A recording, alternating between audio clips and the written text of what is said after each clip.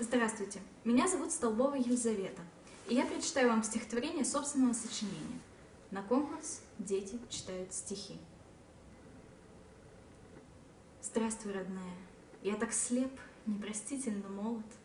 Рубашки мятый, поднятый ворот, рваные джинсы, свисающий галстук, обновления в Твиттере, бесполезные статусы, пачка в кармане, студенческий мелочь, молодой, раздолбай, весельчак — ты, бестолочь. Моя жизнь закипает, как чайник на газе. Пар поднимается и бьется в экстазе. Послушай, родная, я так слеп, непростительно робок. В лотерее одна из миллиона коробок, перетекающий плавно из заката в рассвет. Надеюсь я вытянуть свой счастливый билет.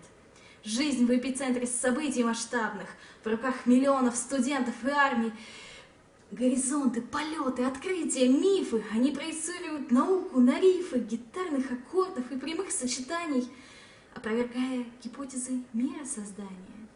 Но всем родная, безнадежно слепые. Снаружи заполнены, интернус пустые. Мы движемся плавно по хайвою к Хеллу, покуда нам весело, до остального нет дела. Послушай, родная, я был слеп до бесчестия. Я бежал по линейке, оставаясь на месте. Я мерил шаги километрами, сотнями, пока не проснулся и понял, что отняли гонки важные части. И вот от чего я был так несчастен. Здравствуй, родная. Я так слеп, непростительно молод. В декабрьский день, без перчаток на холод, я выхожу, снимая очки. Я был слеп, но без них мне виднее. Смотри,